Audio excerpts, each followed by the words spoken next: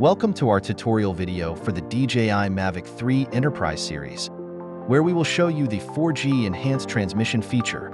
Introduction to 4G Enhanced Transmission.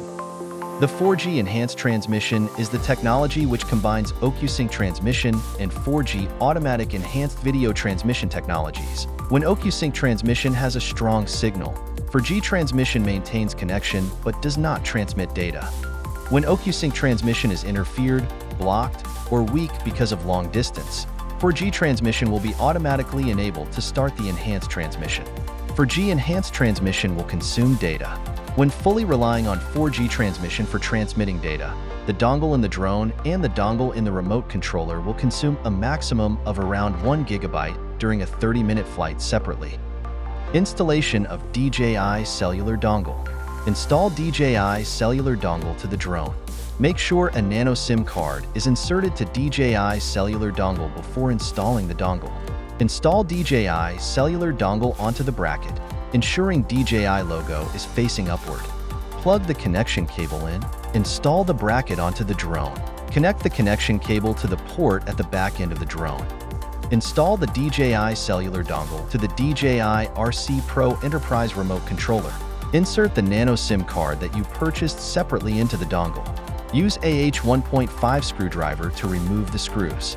Open the cover by using the gap on the bottom left of the cover and then remove it. Connect the antenna cable inside the remote controller to the antenna port marked with a 4G symbol on the dongle. Place the dongle inside the remote controller, then push it to the right until it connects with the USB-C connector.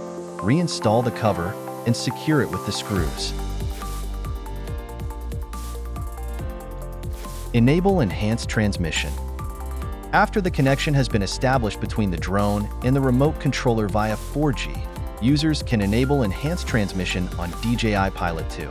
On the camera view of DJI Pilot 2, tap the 4G signal icon and enable or disable enhanced transmission on the prompt box.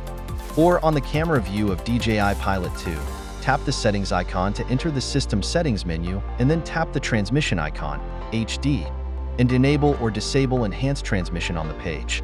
After enabling enhanced transmission, make sure to pay attention to the signal strength. Fly with caution.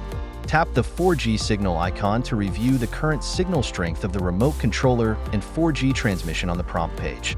Safety strategies. Based on safe flight considerations, the following are required.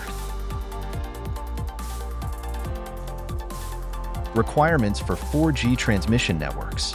In order to ensure a clear and smooth video transmission experience, make sure that the 4G network speed is above 5 megabits per second.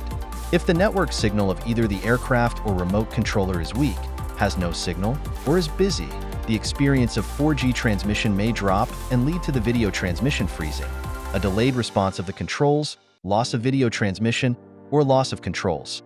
Therefore, when using enhanced transmission, Make sure to use the remote controller and aircraft in locations where the 4G network signal shown in the app is close to full for a better transmission experience.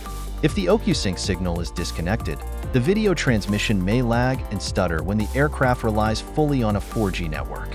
Fly with caution.